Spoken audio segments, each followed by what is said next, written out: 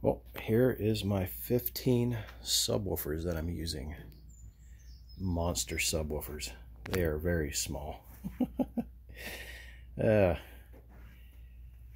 I was going to show a video of unboxing every one of them, but after the first two, it's no longer exciting like my videos. Just uh, monotone, boring. But anyhow, 15 of them. Actually, I ordered more, um, and I'll show you why. In case one was broke, I was able to have that extra one. Unfortunately, I won't be able to do that. This is number 16, as you know. She's a little dirty, a little dusty. but, uh, yep, that's the way she came in shipping. Look at that. Beautiful, huh? Yeah. And anybody that knows uh, baskets and everything like that, once you tweak them, sometimes the cone will actually touch the magnet or the center pole and it won't fire right. Fortunately, this one doesn't have any noise to it. So I can smash it back into place. It's not a big, big deal, but it is what it is. So, yeah.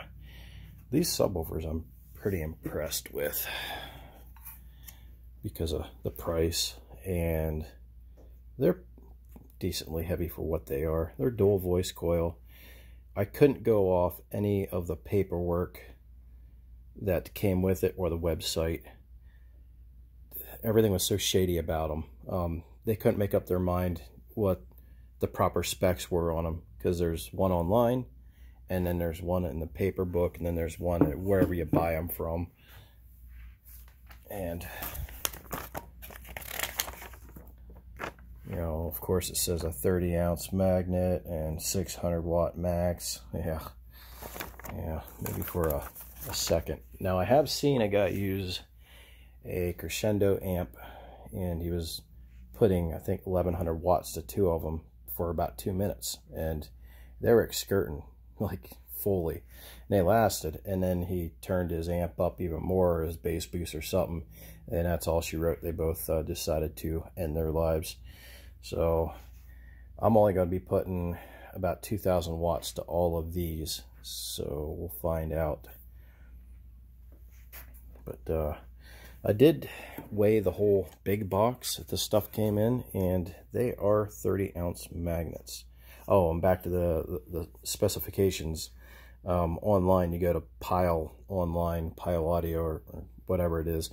Then they say these are a 20 ounce magnet and 100 watts. So look at that. You can see the surrounding is just nudged up on that one. but uh, trying to find the right specs was near impossible. And they said each one of these took 0 0.43 or 42 cubic feet um, of airspace. And they had that as sealed and ported which that's I've never heard anything like that. um, usually it's uh, sealed and then you double it would be ported. That's kind of the rule of the thumb. Because um, you look at anything, it's like uh, one cubic foot sealed box and uh, the speaker will require two or or 1.5 you know for a, a, ported, depending on the you know the subwoofer and if they have any kind of like proper specs. So I put these. Uh, I said in my other video. Um, shit, I don't know. It's going to be three cubic foot for the sealed side. I know that, and the ported side is going to have way too much. That's pretty cool though, huh? Rows and rows of little soldiers. Pyle Power. Pyle used to be a really, really good brand too. Uh, a lot of it was made in America, but as of all companies, they all they all sell out some point in time.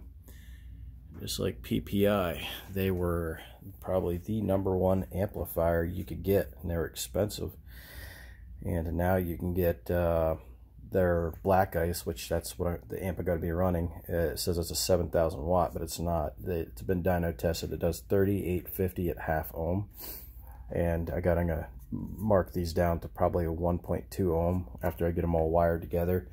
So I'm probably going to get about 2,000, you know, who knows. But, yep, next video is going to be of the baffle. Fun, fun.